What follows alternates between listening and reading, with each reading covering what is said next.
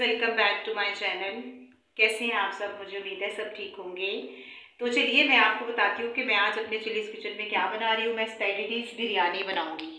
बहुत मज़े की बनेगी इन ताला, और जल्दी जल्दी बन के रेडी होगी।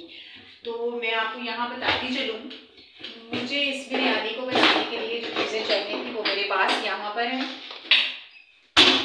मेरे पास यहाँ पर है ऑयल ऑयल का इस्तेमाल करेंगे हम। आ, मेरे पास यहाँ पे नमक है काली मिर्च है लाल मिर्च है सूखा धनिया है पिसी मिर्च है मेरे पास यहाँ पे गरम मसाला है मिक्स गरम मसाला है ये यहाँ पर। इसमें डाल लेती हूँ। गरम मसाला है मेरे पास यहाँ पर ये मेरे पास बिरयानी मसाला है मिक्स वाला जो बाज़ार का होता है। टमाटर है मेरे पास चिकन है पानी यूज़ करेंगे। जिंजर गार्लिक पेस्ट यूज़ करेंगे। ये मेरे पास इमली है, भीगी भी है, ये मेरे पास तीन चार प्लम आलू बुखारे हैं। ये मेरे पास एक पैकेट नूडल्स के जिसको मैंने तोड़ लिया है स्पेगेटीज नूडल्स हैं ये देखें, इसको मैंने तोड़ के छोटा छोटा कर लिया है। एक स्लाइस में कटी हुई प्याज इस्तेमाल करेंगे, थोड़े से लेमन तीन चार हरी मिर्ची है मेरे पास, पुदीना है मेरे पास और मेरे पास हरा धनिया है। तो चलिए, सबसे पहले स्टार्ट करते हैं हम अपनी नूडल्स को, करते हैं बॉयल बिस्मिल्लाहिर्रहमानिर्रहीम। मैंने पानी रख दिया था, पहले से ही पानी गर्म है। टू टेबल स्पून इसमें मैं ऑयल शामिल कर देती हूँ। हाफ़ टेबल स्पून में इसमें सॉल्ट शामिल कर देती हूँ। मिक्स करेंगे। फ्लेम तेज़ करेंगे और इसमें हम डालेंगे अपनी स्टैंड रहीम। पानी हमारा बॉयल था।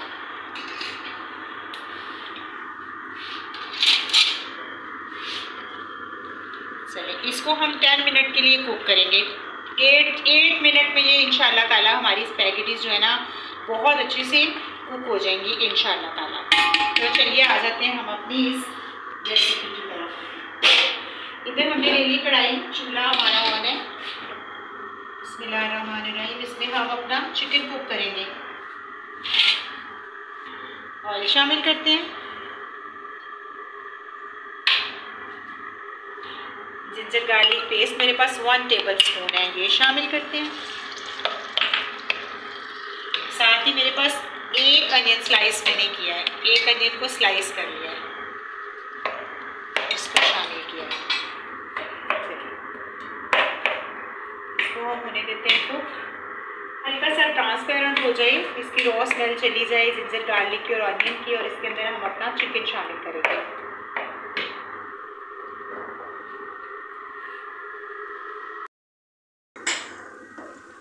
चलिए नूडल्स हमारी बॉईल हो रही हैं एट मिनट्स लगेंगे इसको बॉईल होने में। देखिए, मसाला, हमारा प्याज, लहसुन, अदरक थोड़ा सा ट्रांसपेरेंट हो गया तो इसमें हम शामिल कर देते हैं चिकन ये मेरे पास एक थाई पीस था, जिसको छोटे छोटे स्लाइसिस में मैंने कट कर लिया बॉनलेस चिकन है ये मेरे पास।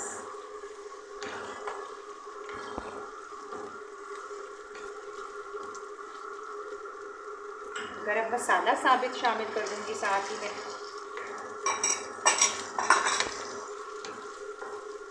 चलिए अब मैं इसको करूँगी कवर इसको मैं पाँच सात मिनट के लिए कुक होने देती हूँ ताकि ये हमारा चिकन जो है, ये प्याज, लहसुन, अदरक और ऑयल में गरम मसाले के साथ अच्छे तरीके से टेंडर हो जाए, गल जाए और फिर हम इसको में नेक्स्ट स्टेप स्टार्ट करेंगे।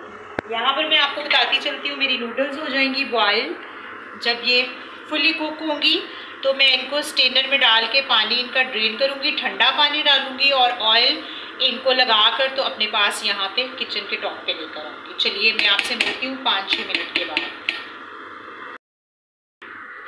चलिए, बस देखते हैं अपना चिकन ये देखिए चिकन हमारा अच्छे से सॉफ्ट हो गया। इसमें डालते हैं अपने स्पाइसेस मेरे पास ये दो टमाटर थे, फुल बड़े साइज़ के मैंने दो टमाटर यूज़ किए हैं।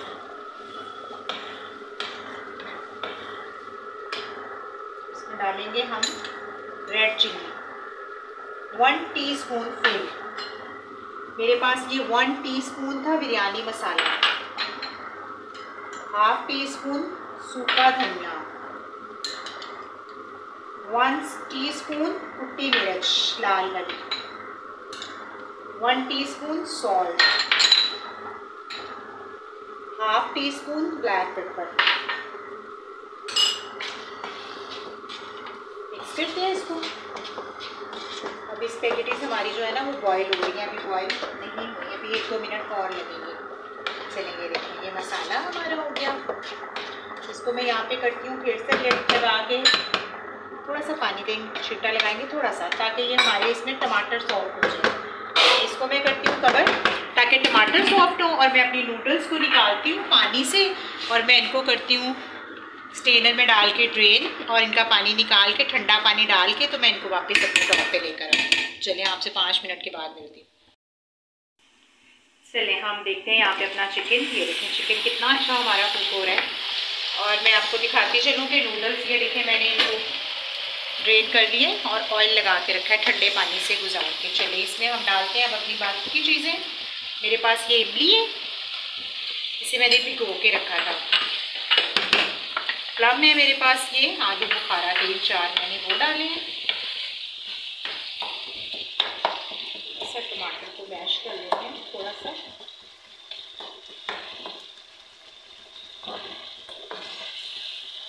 बिल्कुल आप यहाँ पे इस वक्त चेक कर ले, मैं भी चेक कर लेती हूँ मसाला।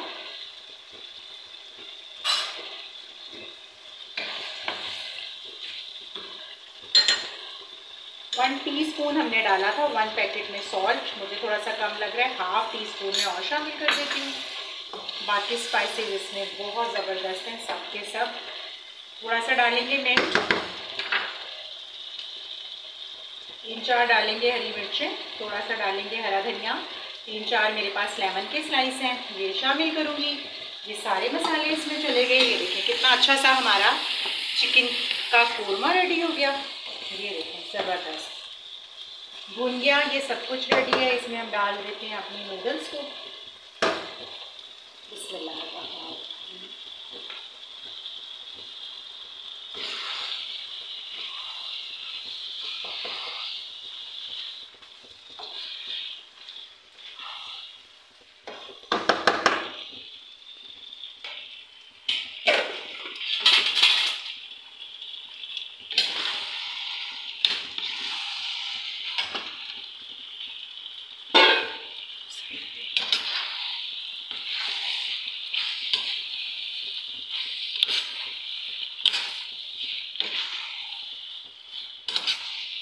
देखें, हमारी मज़ेदार सी बिरयानी, पास्ता, स्पेगेटीज़ के साथ हमने बनाई। बनकर डन हो गई। अब हमने इसमें मज़ीद कुछ भी और ऐड नहीं करना। अच्छे से मिक्स कर दें ताकि सारे स्पाइस इसके अंदर अच्छे से मिक्स हो जाएँ। इमली डाली है, हमने लेमन डाला है। इसमें खटास भी बहुत मज़े की आएगी और ये देखें, ये इसकी फाइनल लुक ये डन है।